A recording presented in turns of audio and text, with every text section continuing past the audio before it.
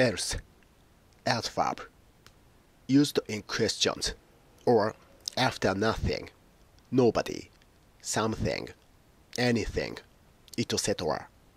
When in addition to something already mentioned. What else did he say?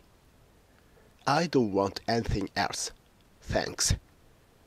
I'm taking a few clothes and some books, not much else. 2.